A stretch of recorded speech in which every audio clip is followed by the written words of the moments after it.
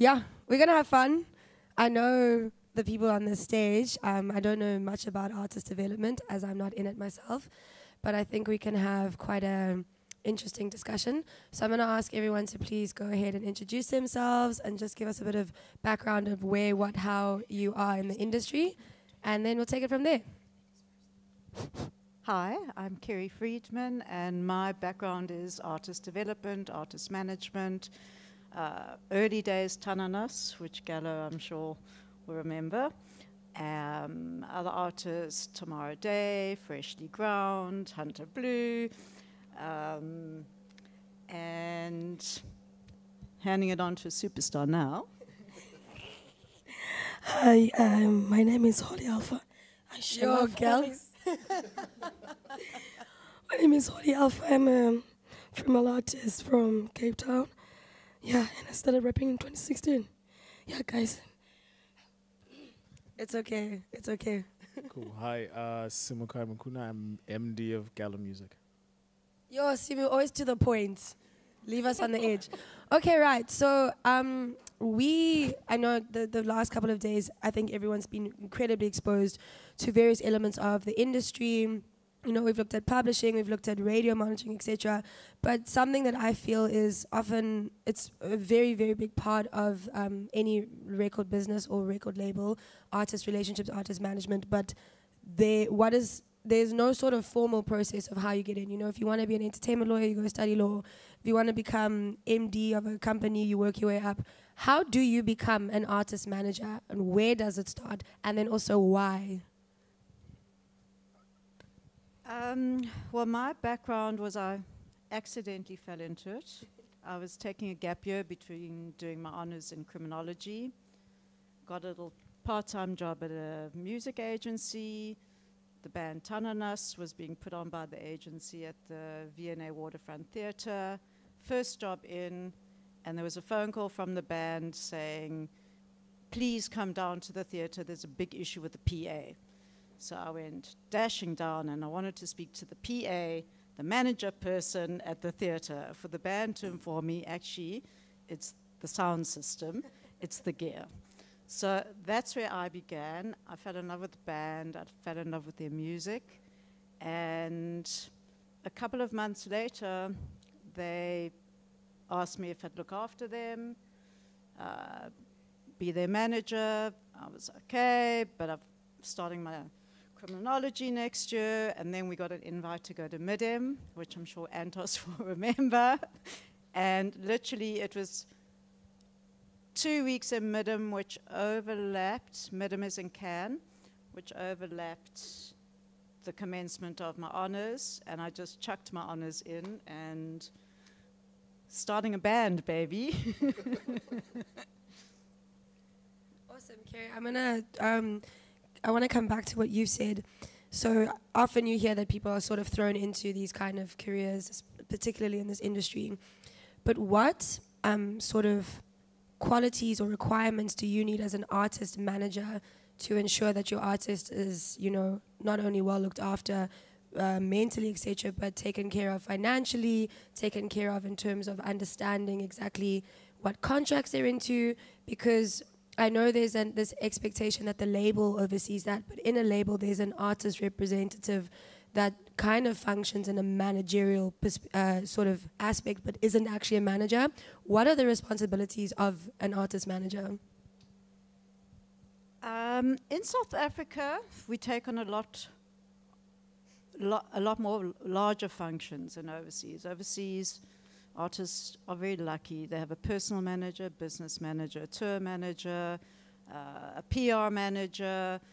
Because our industry is still so small in finance and earning capacity, you'll often find a manager is taking on the role of, of, of all of those titles. Um, so it's learning on the job every day. Never assume you've got the answer. Fact check all the time. Um, I heard ye- in yesterday's sync discussion where Mark said, if a manager says, yes, you can have the track and license it, don't believe the manager. A manager's job in that situation can never and should never assume taking control of an answer on the band's creativity.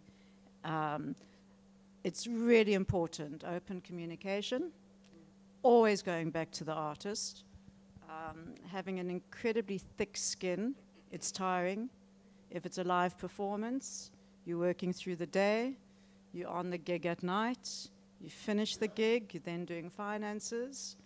Um, you get to sleep at maybe three in the morning. You're then waking up at five because you've got a plane to catch to Dubai and one gig there, and flying straight after the gig back to another country or another city. Um, having you've got to have a sense of humor. you, you just have to have a sense of humor. Um, also, as a manager, you are the fallback guy. And a lot of bands will set you up as the fallback guy. So if something does go wrong, it's, uh, it's my manager's fault. Um, taking on the labels, questioning royalties, taking on the publishers, and when I say taking in on, having that open line of communication, being able to discuss there's a query in the royalties, there's a misunderstanding in a statement sheet. Um, so you're never assuming that whatever you receive is as it is. Um, sure, it, goes on. It, it, it goes on, but it's, it's, a, it's a thankless job. Uh, that I promise you. And when things are going really good, it's still thankless because you're going on to the next gig. Um, but the most important thing is you've got to have passion. You have to have passion for the artist, the music, a love and a camaraderie and the understanding of teamwork is huge. Team, team, team, team, teamwork. Sure, I love that. Um, there's particular um, part of this that I want to get back to because it's a beautiful interaction happening here. We have a manager, we have an artist, and we have a label representative. But I'll get to that question later. I want to ask Holly. So we've heard, you know, Kerry said she fell into, you know, managing bands, which is just extraordinary. For you as an artist, do you have a particular set of requirements that you look at before you pick your management, or is it more, you know, a friend that's come up with you, or is it your label appointing someone to you? So when it comes to me, uh, Utando came after Osive, uh, my ex-manager. And um, he, he, he sort of like play, played the role of Uguti. Okay, Holy Alpha, I'm just gonna play. I'm, I'm just gonna help you out. You know, you can you, you can just do you your music, and I'm gonna shoot your videos. And uh, when somebody who's perfect, who, who says, okay, I'm gonna be your manager. I wanna be your manager. Like the person that you actually choose would you okay you're good with this one. Then i'm just gonna back off but i'm, I'm just gonna play a role for now. So like that's how it started utando it's, it's, it's like it's sort of like a brother and sister relationship. We're really close. So it just happened. He's he used to manage uh, la, la, la, la, uh, so he's got an experience like yeah and then based on that, so Kerry, you mentioned that overseas artists, you know, have a personal manager, financial manager, etc. Holy for you, do you, in your relationship with your manager, do you have a very obviously like transparent idea of what's happening, you know, with your sales, etc., with your bookings? Is that relationship very, very transparent? It is very, very transparent. I know every time what to say when the money's in, I know he calls, yo, Holly, that Ching Ching is here now. I know everything. I know I know the passwords, the pins. yeah, everything is there. Guys. So yeah. Okay, that's excellent. I love that. I want to loop Simu into this um, because, uh, like I mentioned earlier, traditionally there's this assumption that a label has a um, management sort of team that will then be appointed to an artist, but artists often come in with their own individual management. How do you, as a label, manage that then relationship because you now have someone who obviously has the artist's best interest at heart but might not necessarily understand the full environment or ecosystem of the label. How do you balance that sort of yeah, relationship? Uh, difficultly? It's short answer. Uh, no so generally the, the, best situations is exactly what you've described where someone comes with their own team um, and people looking after different parts of their interests because on the one hand, if you if you think about what artists are, they are the product, and yet sometimes they're expected to negotiate on behalf of themselves without feeling some type of way. Like if I'm doing an Excel spreadsheet and you're calling me out on my some of my formulas, I'm gonna feel some type of way about it, right? Like how do you separate yourself from the creator in one conversation and then you're the business person in the next? It's gonna be super difficult. So always better to have people around you who can support. Um, I there's a particular part that I want to bring up about this, and it's speaking to what Simu said. Where are the contracts in this? Because you know, you said it's amazing. You bring an art, an artist as a management team. It comes in. The label and the artist have an agreement. They have an understanding. Do you have artist management agreements with your artists? Do you have an agreement with your manager? Like, what is the paperwork? Because I guess then what is the recourse? You know, with the label, if they don't um, reach certain obligations, you can terminate. But what happens if you know you and your band that you've been with for five years decide you no longer want to work together? I know. Don't let me start. Please, I- I- Um, absolutely, one should have a contract with your artist. It obviously, or the band that you're working with, it obviously depends on the nature of how it began. In, in all the years of working with Tananas, and I'm still oversee a lot of their things, um, we've never had a contract. Um, it was four people that came together and a friendship and a trust was formed and I have had their back and they've had my back. With other artists, absolutely. Contracts are in place, new beginning. It could be a development phase. It's not necessarily um, a lifetime aim for artist and manager to be together. It could just be for a period that that artist needs to get to a certain place and introductions to certain um, entities. Um, but within that, what the artist manager should be advising the band is all the millions of contracts that they should be setting up, um, which is as important. So, the, your split sheets with your band members, having a band member contract, because for an artist manager to manage a band breakup um, is is very fragile and very sensitive. Um, a, a leaving band member. So it's absolutely a contract, and it doesn't have to be a 40 page contract, it could be heads of ag- agreement. Uh, this is the expectations of the manager, and this is the expectations of, of what the artist needs to roll out. Um, your, your manager is as good as your artist's performance as well. If you've, if you've signed up somebody to manage you, um, you need to deliver, get onto stage, produce your music, really be right now, be competitive on social media. Um, there's a lot of expectation that if you record a song and it's a brilliant, brilliant, let's say it's a, you hear it and it's a hit single, it's not just going to go straight to radio.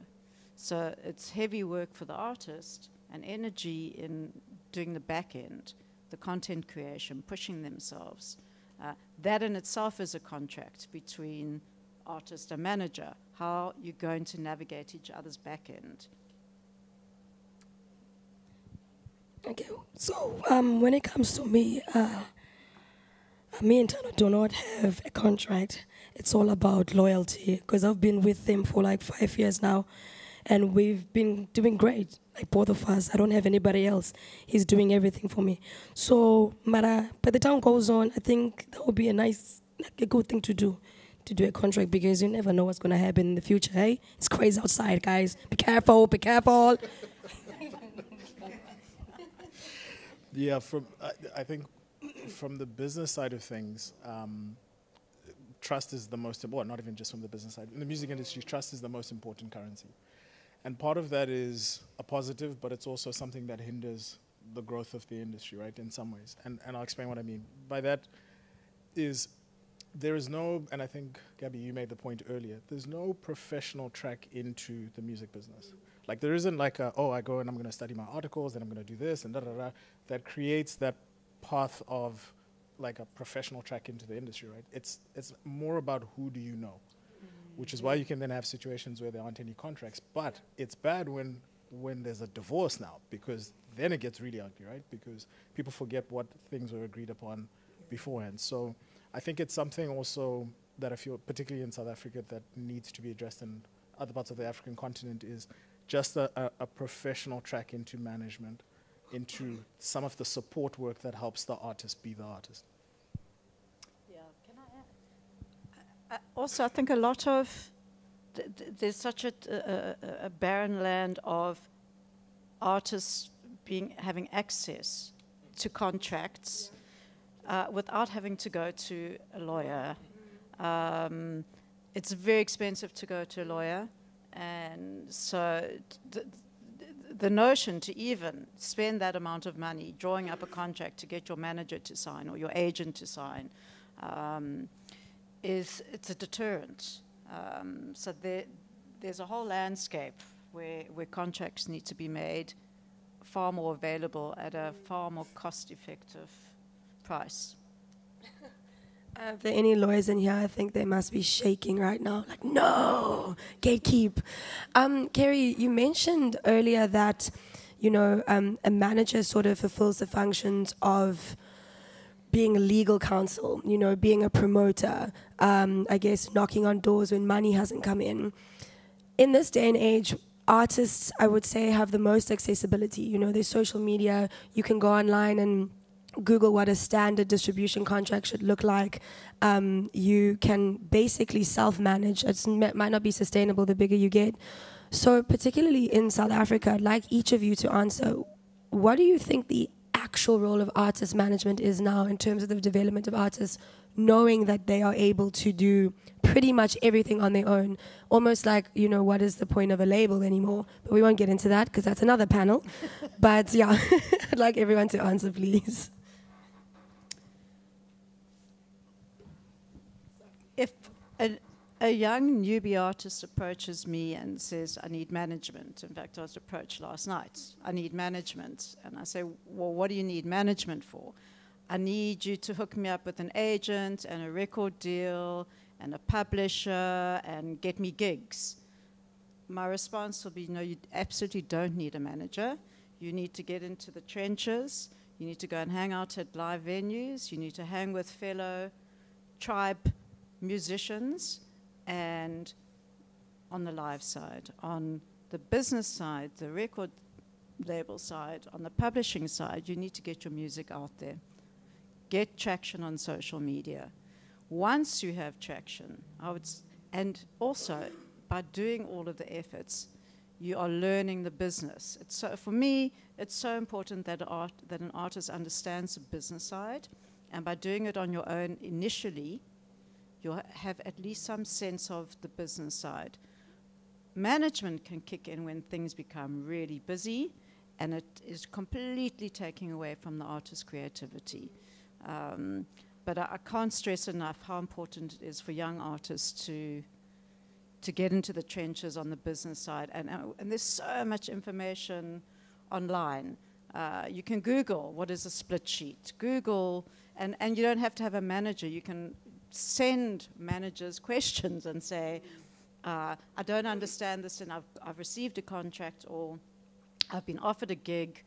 I don't really understand that term of, of uh, the contract that they've sent me. You don't need a manager to answer those questions. You need to, to treat yourself with self learning, um, to put yourself in a position also that you can query your manager. Um,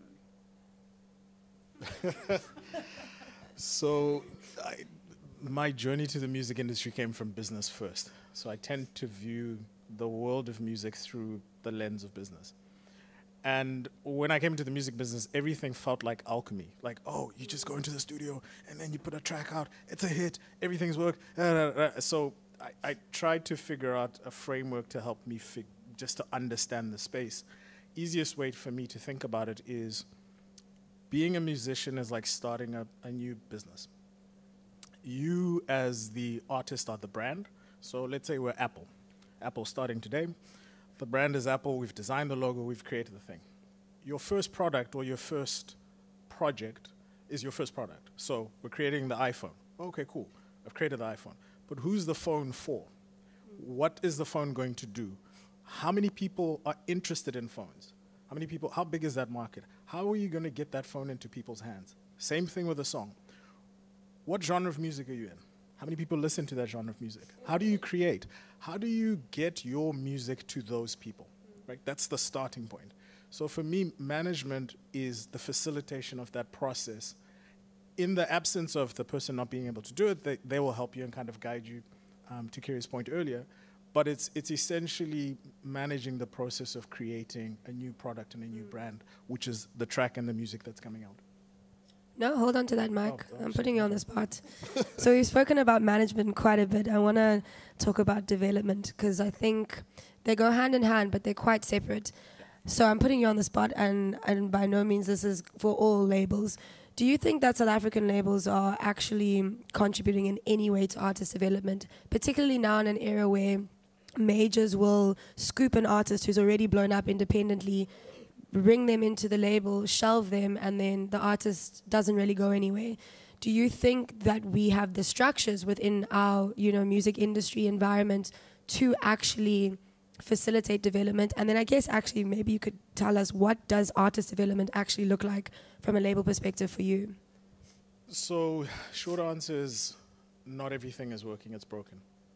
So, there are some instances where the path through the labels is the best. There are other instances where it actually makes more sense to be independent. And now more than ever, you have many more tools to be independent. The label system, in effect, what labels are therefore, is a marketing and distribution machine. That's what a label effectively is. That function is still needed regardless of the, the, the structure or the, the journey of that artist, right? But a couple of things have changed. There's a, a, a guy who writes fantastic about this topic. His name is Ben Thompson. He Talks about what's called the great unbundling. And essentially, it's how the CD used to be, the CD or the LP was bundled together, music bundled mm. together. So everything about our business used to be structured around how this thing is created and bundled and sold. Napster comes, it's unbundled because now you can get songs individually. Mm. And the internet also then means you can distribute or get to your audiences by yourself. It's now presenting people with options. So I'm saying, I say all of that to say, on the one hand, you still need the marketing might of a label um, in some instances, but sometimes the artist has a bigger um, social media following than the label itself. So it really depends on the situation of that artist um, and what's going on. But it, broadly speaking, across the world, it, the model is not working. It's not just South Africa. Yeah, it's not. Yeah, it's not uh, just South Africa ever. I actually think in some respects we might be ahead of the West in certain aspects. But Holy, are you ready to talk? I'm ready. Are you good? So, um, I want to ask you, as an artist, um, you know, Simu mentioned that artists are like, you know, the product. Artists are, I would say, in this moment in time, probably have the most, um, what's it called, advantage than it's been previously, purely because of the access to information, because of the digital era where you don't necessarily need a label to put your music out there. Mm. Not saying to be successful, but to actually get your music out, you no longer require a label. What do you ever think about your development in relation to you know your manager? What does for you as an artist having someone a manager next to you beside you? What does that development look like for you? All right. So um, when it comes to me, um, social media plays a huge role in us. You know, it gives birth to stars. Um, you can just um, take a, brand, and the next day, you're part of that brand. Just like Puma, just like Redbird. That's like just like I did with Puma and Redbird. So um, when it comes to music, uh, TikTok is there. Yeah. Um, that's how you promote yourself. I sing a lot. I make sure good my, my hooks are sing alongs because I rap in. They, that, language is very hard, Buffet. So I dog. Ah, come on. So I make sure good my hooks are very catchy, and I, I make sure good people, you know, like they they do it on that thing. You know, they I, I make sure good they, they the interest is there. You know, so we have TikTok buffet. We have um, we have Instagram, we have Reels now. Right now, they, they, they- once you post Reels, okokoko every time, the, the, the fan base is growing. I mean, so guys, it's there, and even the the labels. Oh, ambitious guys, ambitious, Ambitiouz Entertainment once commented on my on my TikTok, and they called me medium closer. I, I was not okay about that because there is big closer and they call me medium closer and I was like, oh, you looking? Okay, it's here. Okay, they sh- they they they see me. They see me and I was like, okay, cool. I don't want you guys. But I'm good. I don't want you. But uh, yeah, social media is there, Buffett. So let's not play with it. So, sorry, yeah, do you want? Yeah, yeah. So, so Yeah, I'm loving this conversation. Let's- Yeah, no. So wanted to pick up on on, on the social media aspect and in, and in development, right? I, I think it's super important for people to understand what social media can do for you and what it actually is. For me, social media is, in fact, putting a product out, and the product being the music, is like a bucket with a hole in it. You need to find people to put water into the top of the bucket, which is your fans, potential people who might stay and listen. But the hole is people who are maybe not interested, might disappear, right? Social media is a way of putting a lot of water into the top of that bucket. But two things. One, the audience is not always yours because you have to pay for 80% to access 80% of it. So, how do you be clever and use hooks or things that will increase the amount of water coming through that bucket? Second is once you've put that water through that bucket, what are you going to do with it? And how do you make sure that you don't have to look for the same people again the next time? So, this is the importance of owning your own data, having your own website. So, using social media as a tool, pulling all these people from there to there. So, when you market on email, I don't have to pay for it. If I've got 50,000 people who are subscribers to my email, that's way more valuable than 50,000 people on social because I don't have to market to these people again. So, understanding how the social stuff works and then tweaking it so you can pull the audiences. You set up my next question so wonderfully. Don't worry, I'm not going to put you in the hot seat. Um, so I'm a somewhat of a traditionalist in the sense that I think that we in the industry need to go back to the drawing board of what you know was being done, I guess, in the analog physical era of CDs in terms of marketing. Because we can all agree the market's saturated, streaming doesn't pay out. We've heard this for two days straight. What I want to know, um, and uh, Kerry, I'd like you to start because you started, you've managed Tananas Freshly Ground and Hunter Blue, and you've come, you've obviously, you know, I would say progressed through the digital age, having come from traditional marketing and then seeing the zeitgeist of social media marketing, and now being viral is almost more important than actually, you know, having streaming numbers. Do you think that there is a a way that those two sort of could coexist using a hybrid traditional model and social media or do you I would actually also like to get just get a very cool little history of how you were promoting stuff in the days where you didn't have Instagram and Facebook. So let's start there and then the second part of my question is can we hybridize it so that you know we're using traditional marketing um, incentives like I don't know giving out flyers. I don't know is that what you guys did back in the day? Was it flyers? Ten thousand flyers. Tholsi knows, and you know bringing and then bringing it back to you know the current social media. I would say um, if we flip to the early years when there was no digital, um, your biggest gift was getting a, a label deal and relying on the record company to do all of your marketing. Um, it also was the gateway to blaming your record company for your own failure. Um, if you didn't uh, become successful, um, so it was a fantastic platform to say to the record company, well, you haven't taken our track to, to radio. Why has it been rejected on radio? Why haven't we been um, reviewed in that magazine? Why aren't our posters up? Why aren't you giving us tour support? Um, obviously, it's flip when the track hits radio and it's a huge success. We love the label, it's the best. Um, along comes digital and it flips everything on its side with, with the labels. And fantastic artists can now go on their own, be exposed easily. However, the work now sits with the artist to get themselves out there. Um, and I'm sure you will concur that the amount of energy and time put into creating your content is insane. Uh, it's a full time job in its own. And um, it's absolutely a different platform to blaming it or relying on the record company for delivering. However, there is one crossover, which for any record company in the pre digital stage uh, and current is they want us to know if you're going to perform live. The, the, your, your income then and now. Live then was selling CDs and was an income for the label and for the artist. Live now is the actual payment of a performance, um, which will benefit label and record company. So there's a the models change, but but you need the combination of live performance, social media, and at the end of the day, a flippin' good song. It all comes down to the music. That's such a good point. I, I, I would add one thing that used to take place that's been forgotten that I think needs to come back.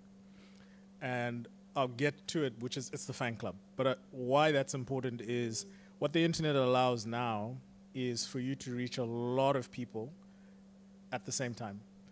But in that core audience that you're reaching out to, there's probably 10 to 15% who are super fans. Who will pay whatever like if you if I'm a let's say I'm a musician and I'm a jazz musician and I decide to put out a documentary on ants, those guys are on it. Right? So how do you get to that core audience? And there's a, a guy who wrote a fantastic piece. His name is uh, Kevin Kelly. 2008, he wrote about how the internet allows for um, the 1,000 true fans.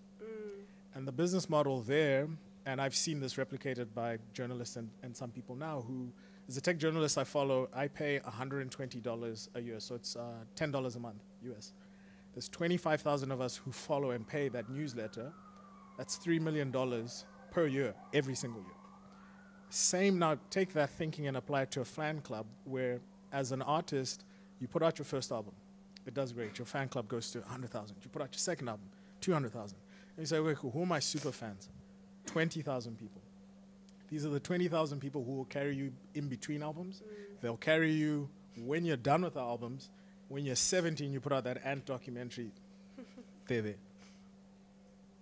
Yeah, like the Rihanna stands who seven years later we're still like, she's gonna give us the album. It's Yeah. coming. Yeah. So Okay, I want to ask. This is a less business-related um, question. I guess maybe more, you know, in the realm of mental health and you know, artist relations, just from like a actual, you know, interpersonal perspective. We all know that creatives have an incredibly difficult time in the industry. It's the nature of you know being a creator.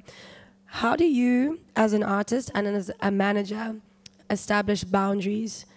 Can you establish boundaries? And if that isn't possible, is it a situation where you say, okay, I might not be the best person to manage you, or I might, this might not be a um, beneficial relationship? Holly, you gotta talk at some stage. Can you please repeat the question? sure.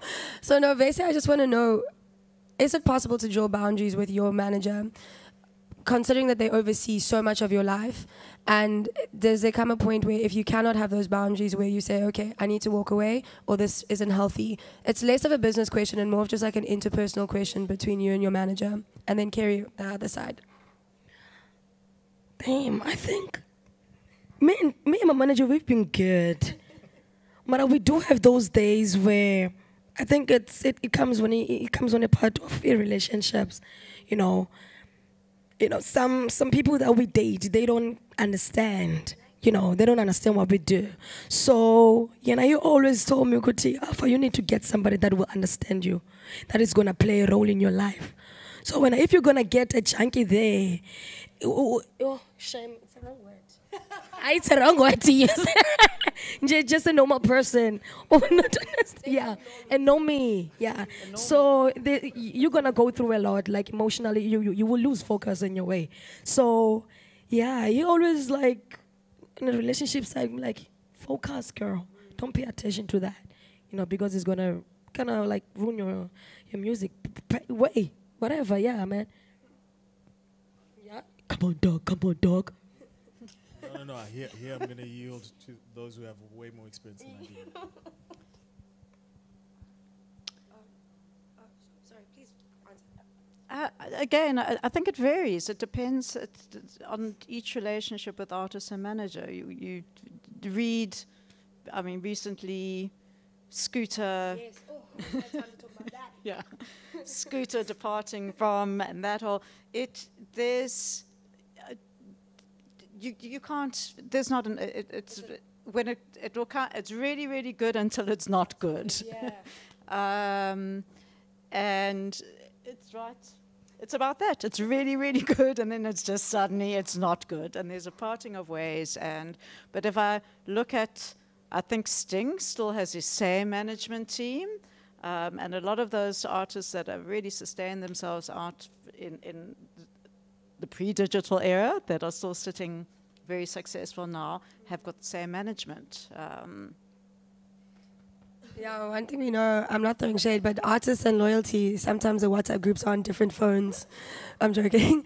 Okay, I, I could sit and talk like this forever, but I'm going to open the floor uh, to any questions. Um, so, over there, thank you. Hi. So my question is, I suppose, more for Simu in terms of. I understand that the label doesn't, as such, do development or pour money into developing an artist so much anymore. But on the other hand, where does the label actually make their money now with regards to streaming not really being a source of income?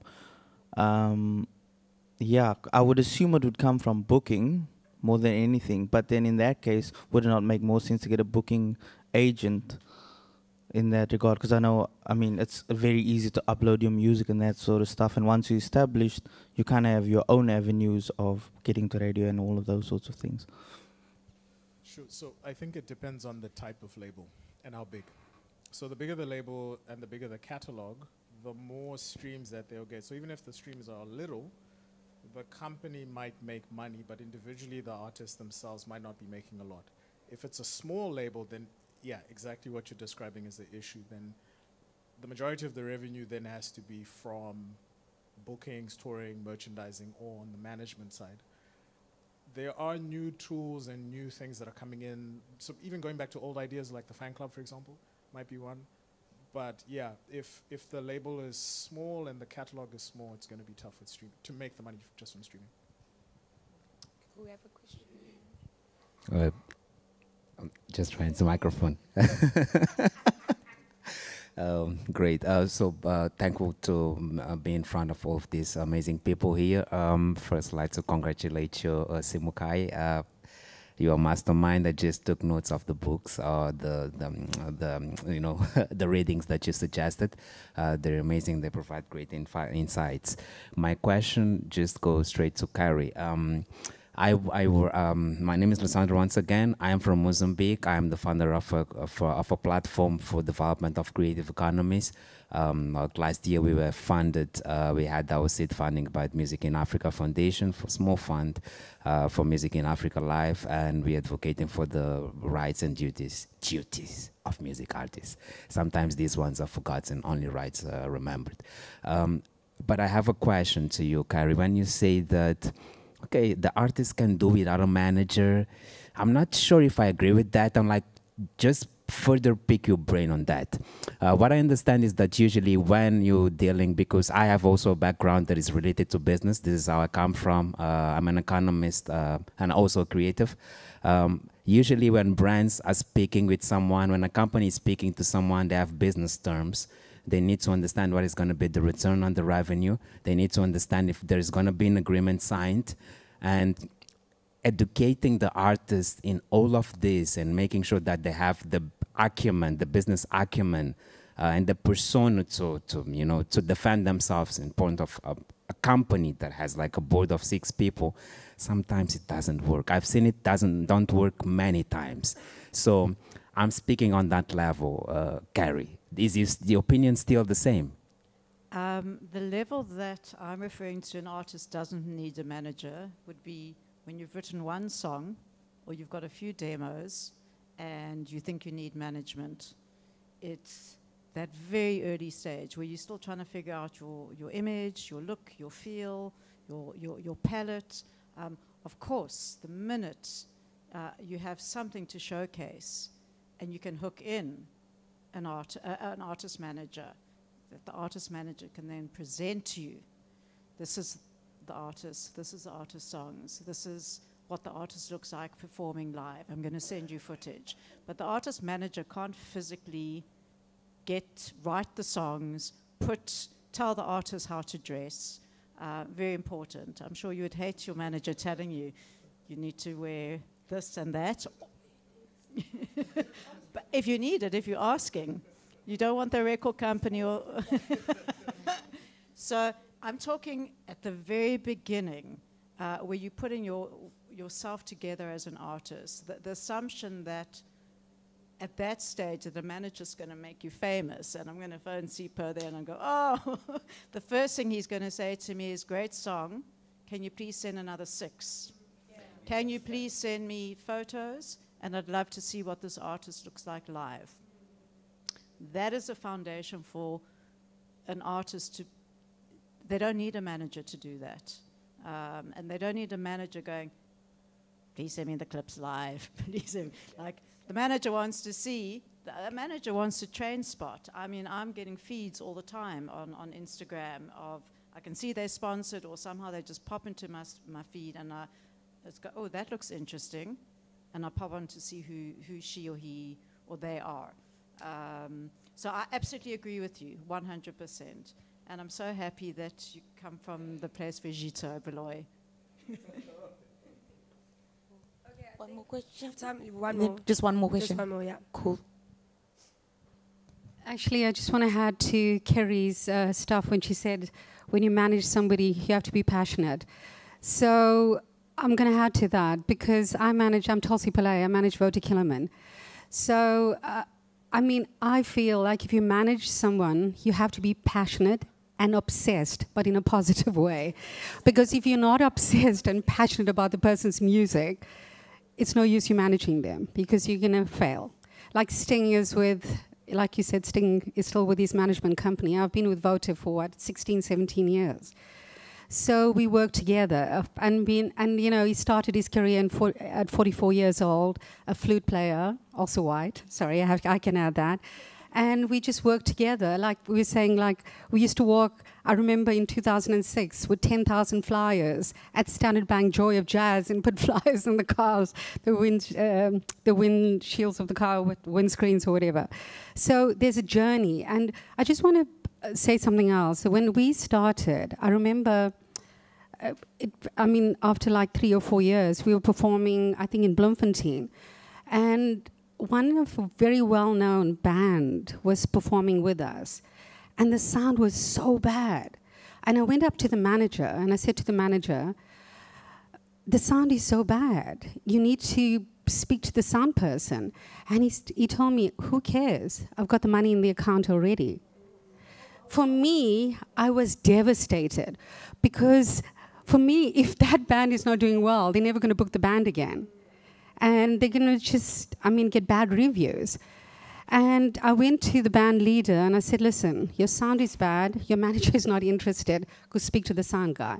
So managers need to get involved too with sound. I mean, we perform internationally. I'm ironing the band's shirts in, you know, at backstage and putting it on before they go so they're not creased. We get involved in everything. I mean, we sometimes uh, people book us and we get to venues and uh, sorry uh, accommodation and it's such bad accommodation we need to spend that extra money to make our band you know like motivate them to get on stage and play well so there's so many things that all of us get involved in so you need to get involved and you need to be you need to love your love the music you need to love the artist you need everything has to be love and positive so that's the only way. And this year we won our second we, we won our second Grammy. So there we go. Thank you so much, Tols. Um, Kerry, Holy Simu, I know you weren't expecting to see my face. I'm not Lesley, by the way.